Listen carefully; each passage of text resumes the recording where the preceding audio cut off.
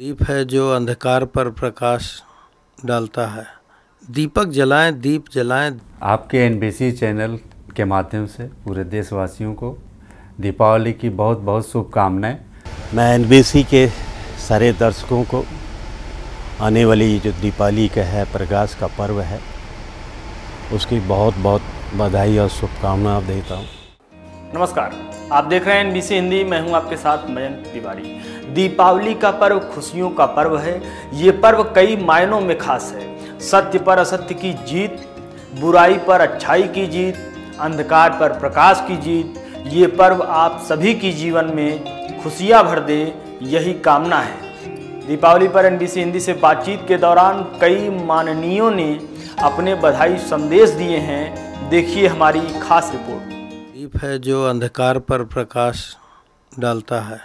दीपक जलाएँ, दीप जलाएँ, दिया बनाने वालों का भी वो पैसा जो हम लोग बिजली पर खर्च कर रहे हैं, लतर जो हम लोग लगाते हैं, वो दीप जलाने वालों के घर पैसा जाए तो अच्छा रहेगा और वही शुभ दीपावली का हमारा संदेश होगा। आपके एनबीसी चैनल के माध्यम से पूरे देशवासियों को दीपावली की बहुत बहुत शुभकामनाएँ। और मैं यह आग्रह करता हूँ कि इस समय कोरोना काल अभी ख़त्म नहीं हुआ है। दीपावली पे जितने पटाखे हैं उन पटाखों की में कुछ कम कर दीजिए, उसके जो पैसे बचते हैं उन गरीबों को दीजिए, उनको कपड़े दीजिए, मिठाई दीजिए, खिलौने दीजिए, वो भी हमारे समाज के अंग हैं। मैं एनबीसी के सारे दर्शकों को आने वाली जो दीपावली का है, प्रकाश का पर्व है उसकी बहुत बहुत बधाई और शुभकामना देता हूँ। वैसे इन पिछले दो सालों में कोरोना और कोविड से महार दौर में जब लाखों करोड़ों लोगों के जीवन प्रभावित हुए हों, कई संसार से अल्प समय हमारे बीच से चले गए हों अभी अभी उत्तराखंड के अंदर विशेषकर पर्वतीय और मैदानी दोनों क्षेत्रों में भीषण आपदा का संकट बना लोगों के जीवन के साथ बहुत सी त्रासदियाँ चली कई परिवार के सदस्य भी चले गए।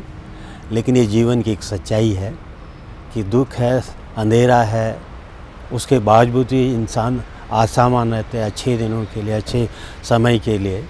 तो मैं फिर दीपावली के इस पवित्र पावन पर्व पर आशा करता हूँ, हम सबका, राज्यवासियों का, देशवासियों के जीवन में फिर प्रकाश की किरण आए।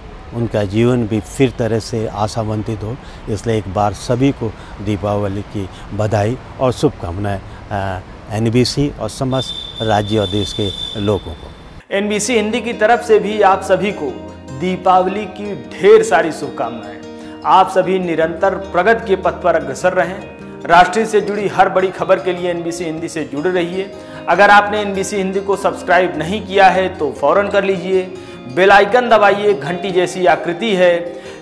वीडियो को लाइक कीजिए, कमेंट सेक्शन में जाकर बेबाकी से अपनी राय रखिए।